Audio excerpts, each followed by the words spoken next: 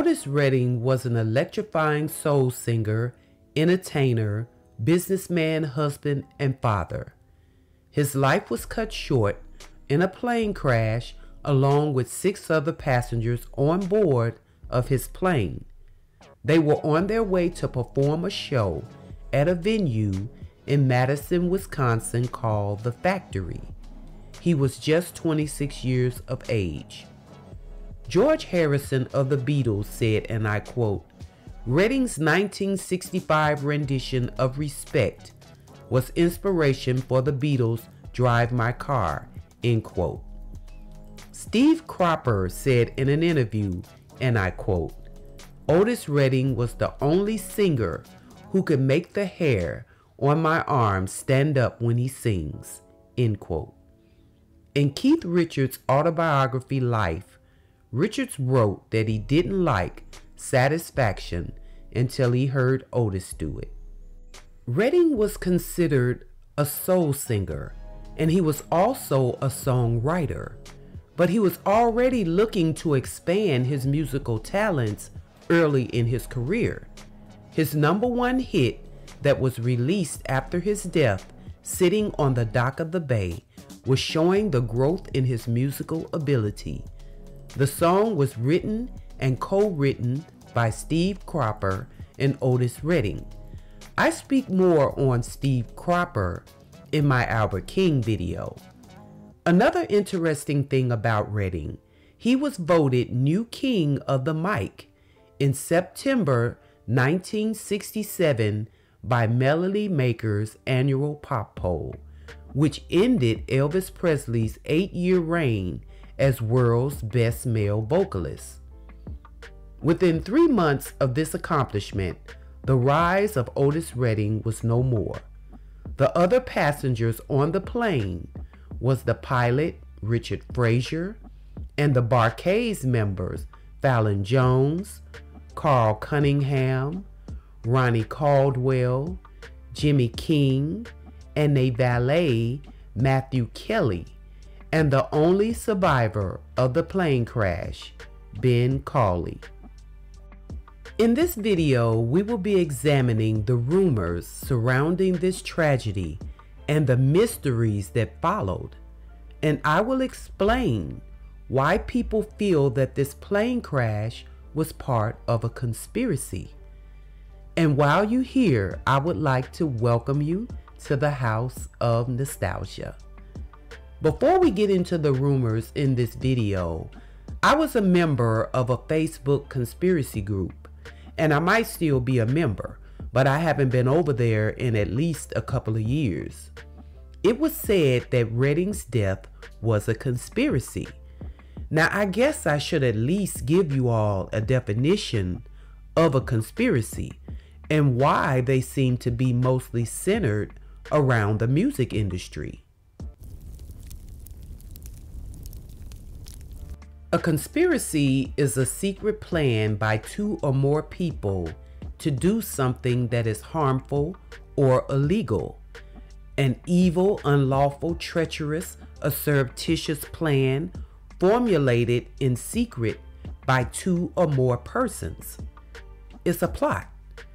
Back in the day, conspiracies was associated with a secret part of the government, but as we know today, it is mostly associated with a contract, a record contract to be exact. The conspiracy theorist feels that the record labels are evil and demonic, and if you sign a recording contract, you are selling your soul for wealth and fame. In order to keep your career going, or stay on this earth, you must sacrifice another human. We'll come back to that. Phil Walden was Otis Redding's manager, and they had good chemistry and a good working relationship from what I studied. He was Redding's manager from 1959 until Redding's death in 1967. Redding was a hot commodity and was about to get into movies, and one of the rumors was that Walden had a $1 million life insurance policy on Redding, and that was a fact. Another was that Redding's plane was once owned by James Brown, and it was said that Redding bought the plane from Brown.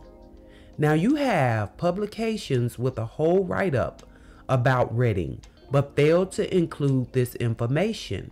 Then you have a few that say this is true. I cannot confirm this information.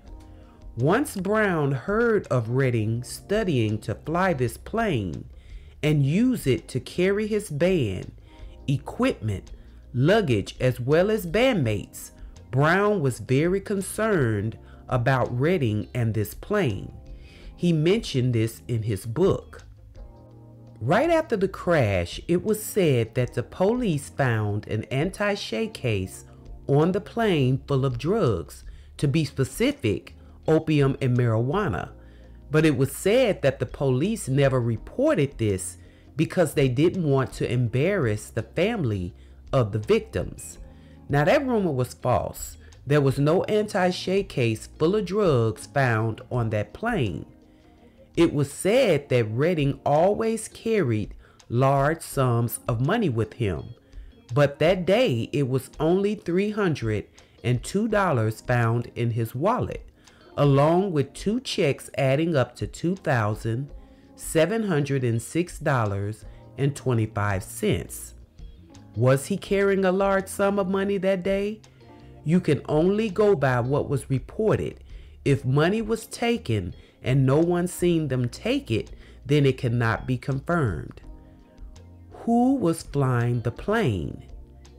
It was speculated that Redding was flying the plane, and that's false.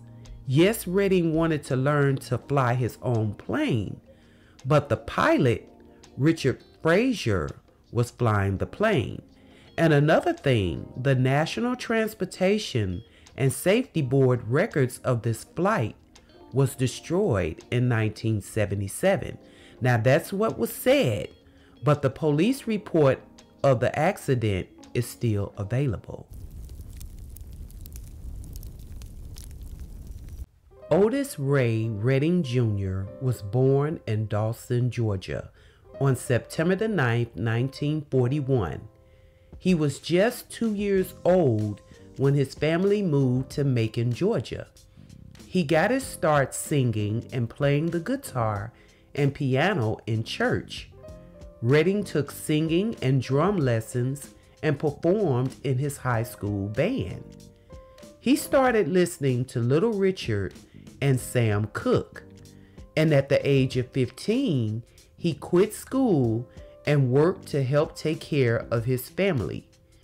He joined the Upsetters in the late 50s this was a band that once backed Little Richard. In the later part of 1958, he joined the Pinetoppers, which was Johnny Jenkins' band. By 1962, Redding was signed to Stax Records and recorded his first hit, These Arms of Mine. His first album was released a couple of years later, named Pain in My Heart. In 1965, he recorded Otis Blue, Otis Redding Sings Soul, and the hits just kept coming with Respect, I've Been Loving You So Long, Satisfaction, Tramp. and already recorded six classic albums before his death. He was inducted into the Rock and Roll Hall of Fame in 1989. He was inducted into the Songwriters Hall of Fame in 1994. And he got a Grammy for a Lifetime Achievement Award in 1999. Redding's plane was a twin engine Beechcraft H 18. This particular plane that he owned was an older model plane, and the battery power in this plane was low. This wasn't a secret. It was known by the pilot, the mechanic, and Redding. I found this to be very strange that this wasn't a concern, especially to the pilot and mechanic. Richard Frazier only had his license for a multi engine plane just 10 months before this crash. And I don't find that to be alarming because He was a former Air Force pilot. The only person instinct that kicked in about this plane was James Brown. Redding was moving different in the music industry. He was a young black man with a 300 acre ranch called the Big O Ranch, and he owned his own private plane. I believe this was only the beginning for him. He was running his career like a business. A lot of black blues and rock and roll artists from the early 50s had to survive on a hustler mentality. They had recognition only, but no money because the record company was scamming their money. That's why a lot of them died broke. But it was different for Redding. He understood the business side of the entertainment industry.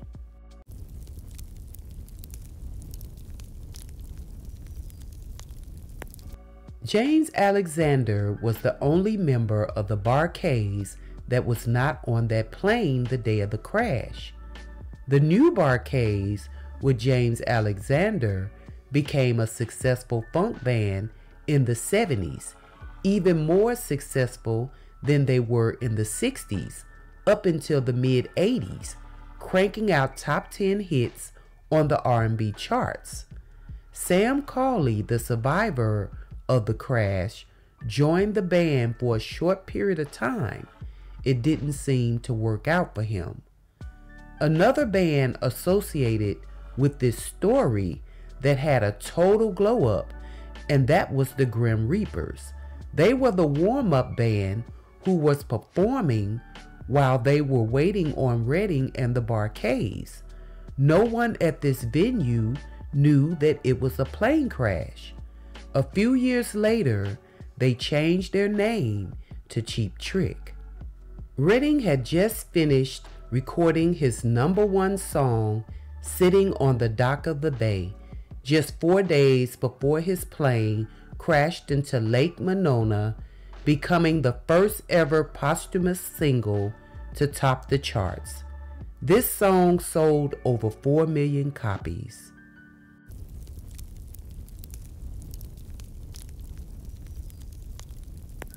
Do I find this story to be a conspiracy?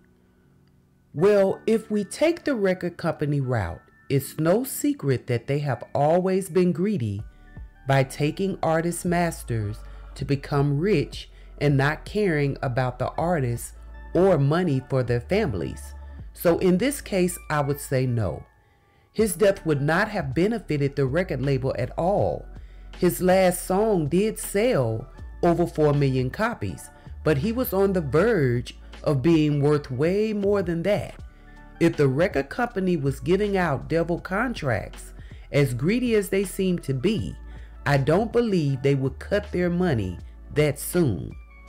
Plus, Redding was not the only smart black entertainer with money in the 60s. It was a lot of black actors, sports figures, businessmen, and black publications.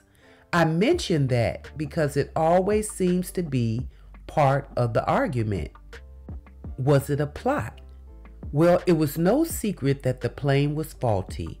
This was known before the flight. The weather wasn't good either. Redding wasn't a pilot or a mechanic. He was a businessman and entertainer. So for the people in charge of the safety of this plane to shrug off the danger in flying it will always be the biggest mystery of this story and the talent that the world missed out on because of it. All of these mysterious events, along with what could have been, is what make this story of a legend still being told 56 years later. But it's always another theory. Feel free to tell me what you think about this story in the comments section below. I would love to hear from you. Thanks for watching the video.